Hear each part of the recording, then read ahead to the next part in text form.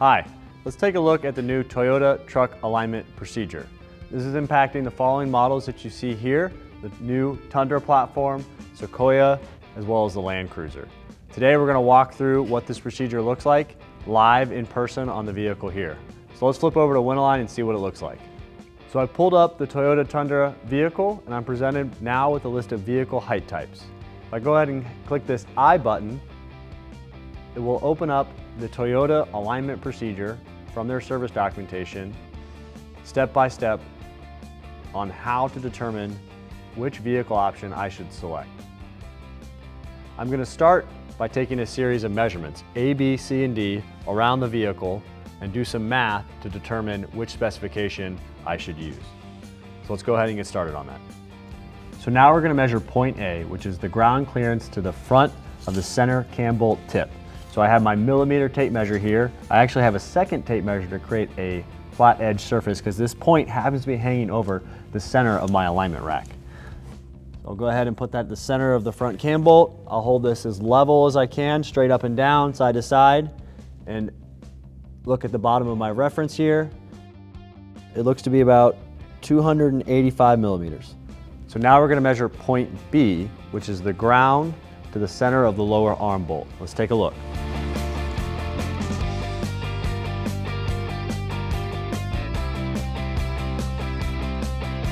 295 millimeters. On to point C, which is going to be the ground to the center of the front wheel. 385 millimeters. Finally, our last measuring point D, which is going to be ground to the center of the rear wheel. 385 millimeters. So we've taken the four measurements, A, B, C, and D, and we're going to proceed to the next step. If I scroll down here, I'll see the workflow. It's going to ask me to calculate C minus A and D minus B. C minus A, we're left with 100 millimeters, and D minus B is 90. It now says select the closest value to the higher vehicle height type value from the vehicle height type table. If I remember correctly, my higher value was 100, C minus A. I'm then going to, from this row, select the value that is the higher. When C minus A is higher, the procedure asks you to place ballast weight on the rear side, loading directly above the center of the rear axle, and then rechecking the vehicle height until the rear is plus or minus 2.5 millimeters from that table. Looking at this table, my higher value of C minus A was 100, it's closest to 99. I now need to get D minus B plus or minus 2.5 millimeters of 103. As I load that rear axle with more weight, that lower arm measurement will go closer to the ground and therefore get me towards this 103.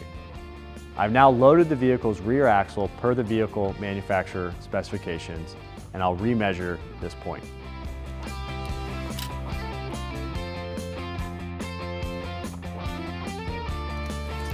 Point B is now 282 millimeters.